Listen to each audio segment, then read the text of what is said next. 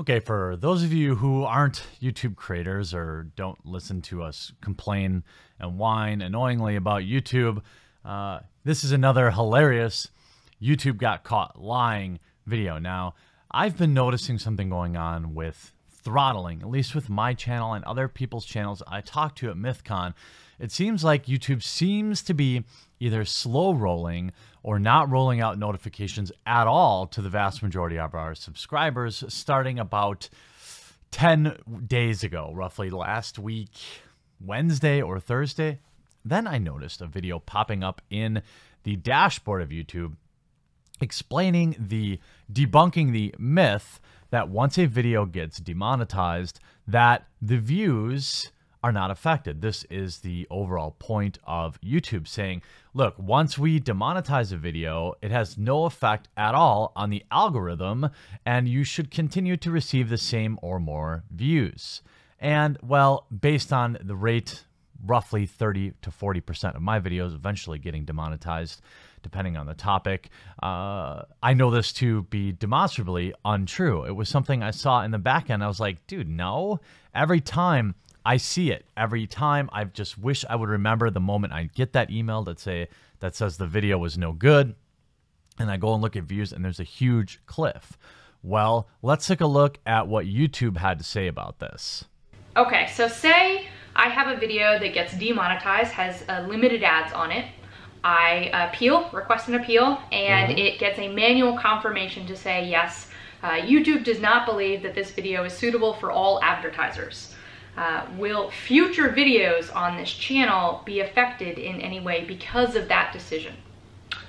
That's another no. Um, we don't even know about that. Um, whether you appealed something, whether it was demonetized, whether it was overturned, none of that information gets into our systems of okay. uh, search and discovery. So uh, it's it's a completely different thing.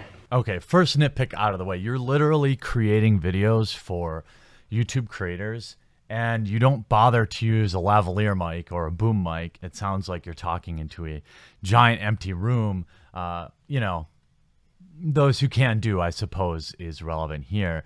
So you heard him say basically the question was, well, if I get a video demonetized, will it negatively affect my entire channel or future videos? But he goes on to answer and say, look, the demonetization algorithm is different than the visibility algorithm. They don't know anything about each other. So, in theory, whether or not a video is currently monetized or monetized and demonetized, it has no effect whatsoever on search visibility. Now, uh, if you know uh, the Slingshot channel, um, the man behind the uh, YouTubers Union, first of all, has an amazing, awesome, entertaining channel. You should subscribe to him. Uh, he did the legwork to essentially disprove this entirely. So huge shout out to him. Uh, and I'm going to show you just a small section of his video. Excuse me. super, super sick. Got that con crud. But uh, the work continues. No time off for me. As to be expected, the income dropped to zero the day they demonetized the video. But look what happened to the views. See the views? Let me explain this again uh, are supposed to have no relationship to the uh, to the monetization status. Yet, as you see, the views drop to zero the very same day. Here is another video of mine. Uh, it's not as popular, but still generated a good amount of views. Same thing, the day they demonetized it, it dropped to zero. And even worse, now look at this video. They demonetized it and nine days later on, I was successful with my appeal and they re-monetized the video. Look what happened to the views. They jumped right back to the previous level. Ugh. Eat it, YouTube. I mean, you have all three scenarios here. You have you have you have multiple videos. You show a a repeatable event. You show the coordination of the drop in monetization as well as the drop in views. You also get the proof that once it was demonetized, then remonetized, the views pick back up. How can you push, essentially, you push this video to the dashboard of every single creator on your channel, and you either have no idea how your own algorithms work, which is possible, or you are outright lying on purpose content creator insider and they actually responded to him. Now the video is going exactly how you would expect. expect 340 upvotes 200 or 2400 downvotes. You can see the comments not going well. Uh, you can see Jörg uh, saying, I can't believe you're still trying to defend your lies in the eye of the evidence I provided. This is why I'm covering it, because it doesn't appear that they've uh, provided any uh, further information you can see this isn't true. My more popular videos that were demon stopped getting views, and other YouTubers have demonstrated the same. Limited or no ads via age restriction flags or yellow icon 100% does reduce views. Sorry, man, seen it too many times to ignore. I mean, you see everybody, you see a lot of YouTubers in this thread. You are lying. Checks Jörg's uh, Sprave's latest video. Stop lying. Someone will have to show you your own features. Uh, and you have you can actually see they responded to this. They posted the same thing on Jörg's channel. Some folks believe we provided wrong information when Todd talked about whether monetizing a video increased views. To clarify, he was actually answering a more nuanced question. Specifically, does turning on ads increase visibility? Fair he was answering that question. However, he went on to say the two algorithms have nothing to do with each other. The systems that run the search and discovery features do not get a signal of whether monetization is on or off. To test that, simply take a video that has stable performance, turn off ads for the video for say an hour, observe real-time traffic in YouTube Analytics, and then you'll see it. If you see a drop, let us know. So they don't even know then they say to answer the specific question, is there a relationship between monetization and views on YouTube is more nuanced. Whether a video has a yellow icon or not doesn't matter to our search and discovery systems. They are focused on delivering the best video to the viewers.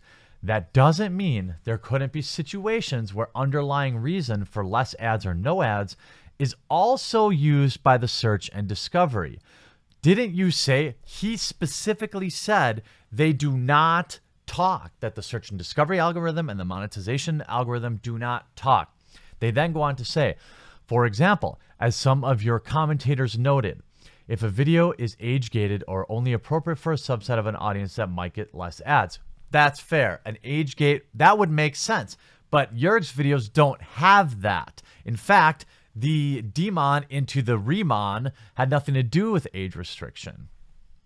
Uh, now, I have had videos that I did not monetize, monetize from the start that still have millions of views. My Stan Lee video, for example, I never monetized it and it did just fine. My point is, and everyone, all the commentators' points are that if a video gets yellow dotted, that absolutely does have an effect on views. And the point of their video, which is literally titled Myth Busting Do Ads Affect Search and Discovery, is either purposely misleading, purposely lying, or this is two people that don't even understand how their own algorithm works. Because as YouTubers, we are already now under constant attack from mainstream media and from freaking Hollywood stars just starting YouTube channels and then getting recommended. I'm getting recommended videos from Kevin Nealon. Sure, he's funny, but he's not a YouTuber. Why do I see videos from Kevin Nealon and and and The Late Show and not people I subscribe to? This has been an ongoing thing as a consumer of YouTube.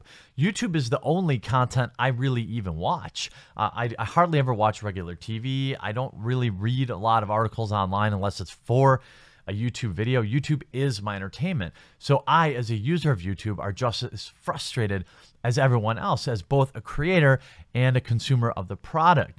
And the fact that they would actually put out this video to basically say, like, well, the two have nothing to do with one another is absurd. Of course they do. I see it in my videos all the time. I had the video where uh, I talk about Twitch thoughts uh, get yellow flagged first, and the videos fell off a cliff and then it got age restricted and it basically killed the video which the age restricting i actually totally understand uh, how that would affect it because it probably for people that are actually logged in uh, and they know your age and you've told the right age, it probably doesn't show the video. Although they say that the two systems do not speak at all even though we clearly know they do. So YouTube busted, uh, lying again about this. And, uh, you know, it's frustrating because as a creator, we try to use certain words or present things in a certain way.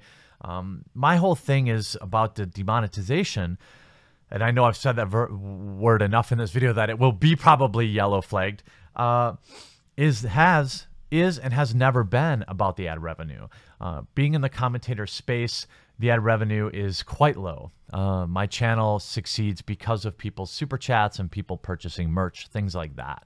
Um, it's only ever been about you know what good is having the right message or a good message if people don't see it. And we have this problem with the notification systems and and we know that we have this problem with the yellow flag. Now i will say i believe it has gotten better. There was a period of time where almost every video I was uploading was hitting that. Uh, i have changed my language around a little bit but i do think the system is learning a little bit more. Most of all really almost all the videos that were yellow uh, flagged for me uh, should have been fine, and 90% of them after review were uh, fine, were approved for ads. Now they get you because they, you know, 90% of your views happen that first 12 to 24 hours, so you don't make any ad revenue anyway. But I think the system is learning. The problem is when you have people put videos out this, like I said, where they're either purposely lying or they don't understand their own algorithm, it causes a further rift between creators and the platform that we are beholden to to make our careers and our livings and put out our content for people to enjoy.